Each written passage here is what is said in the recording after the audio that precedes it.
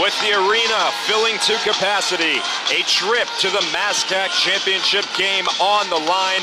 We welcome you inside Hanaway Rink, the third seeded Fitchburg State Falcons and the second seeded Plymouth State Panthers. Hi everybody, I'm Cameron Lavallee, joined by my partner as always, Jordan Woodill.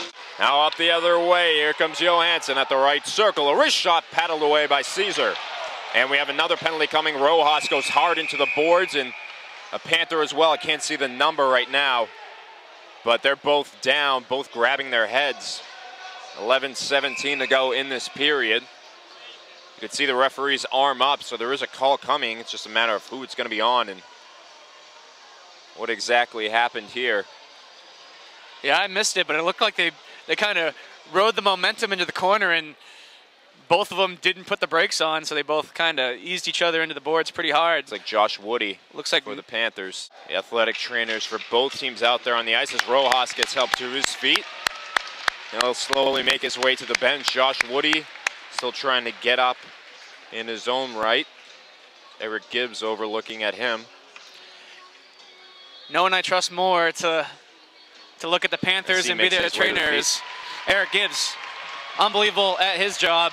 And you know that if Josh Woody says he's fine and Eric Gibbs clears him for the concussion protocol, you know Josh Woody's going to be back in this game, hands down. So the call was on Josh Woody as he hunched over, glides his way to the Panther bench. He's going to come off for now, so the Panthers are going to have to find somebody to serve his penalty for him. And Selly at the far side. Wrist shot in front, another attempt and that one goes wide to Kramer. Puck still loose in front. Frets. And another save by Gordon Caesar. Now cross ice for Connolly. Tries to put it on goal. Got blocked away by Panthers. Centering in front for Selly. Final one second, and that will do it for this opening period of play. Vermillion cuts him off. Tries to work it up to Economos, but put it on his blind side. Now Snyder, cross ice, Connolly, and they score! Ryan Connolly with 14.53 to play in the second period. And the Fitchburg State Falcons have a 1-0 lead. That was played with a hand pass. And John Selly gets the stick knocked out of his hand by Colt Smelster, who's now going to serve two minutes. Slashing the call. Up the left wing side, Fred steaks around Wigg. Carries into the left circle, trying to work past Vermillion. Uses the backboards to get it to Connolly. Having a tough time battling against Perrin. Puck squirts out, poked away by Wigg. And he's up the left wing side. He springs free. He has Perrin in the slot. Perrin back to Wigg. He scores! Andrew Wigg short-handed with 7.14 to go in the second. And we are tied. Dan Dupel got tripped up at the blue line there and Took a tumble, and it looks like the Panthers are going to go on the man advantage. Six, guys on the ice there for the Falcons, so somebody's going to serve a too many men on the ice penalty here, and it's going to be Timmy Genova. McGilvery over the red line, flips it into the right corner for Lanceleve. Works it for Woody. Back up top for Dowell. Has to race end to end from the blue line. He scores! Tommy Dowell, a wish off from the blue line. Jakobsen never saw it, and the Panthers have the lead. That was a great play. Trying to work past that broken stick is Steenberg.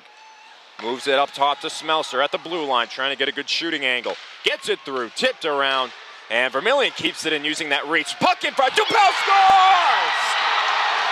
Dan Dupel with 2.50 to go in the second. 3-1 Panthers. Yeah, unbelievable play, cycling, good patience. Falcons trying to get it out of their own end. Final two seconds and one, a wrist shot. That's going to be blocked wide off the body of Smelster. Callahan takes it for the Panthers up the sideboard to Zach Fox with a ton of speed. Fox at the far circle. Holds to Callahan. Deeks. He scores! Ryan Callahan. A nifty move to get around Jakobsen. 4-1 Panthers. Dupel making his way back in, but we have a penalty coming. And it's going to be against the Panthers here. And it's Mikey Economos for a high stick. Connolly down low for Kramer. Gets Caesar down and he scores! Ricky Kramer, what a shot! With 11.28 to go, a power play goal and the lead is two. Two minutes, for Alex Jocelyn. The Panthers back on the power play. Now over to Wigg. Again in the slot. Score! There it is. Josh Woody gets it back. 5-2 Panthers. Now McGilvery up the left side. The Panthers have the odd man rush. Lanceleve in front. They score! Ian McGilvery. 6-2 Panthers. Caesar will come out to play it in the final five seconds. Dowell flips it into the neutral zone, and that will do it. The Plymouth State Panthers are back in the MASCAC Championship. 6-2 your final.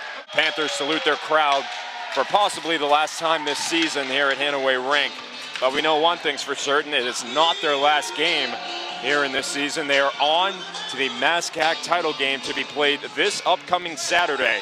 For everyone here for PSU Broadcasting, my partner Jordan Woodill, I'm Cameron Lavallee. Thank you for joining us all season long. We appreciated your company. Have a great night.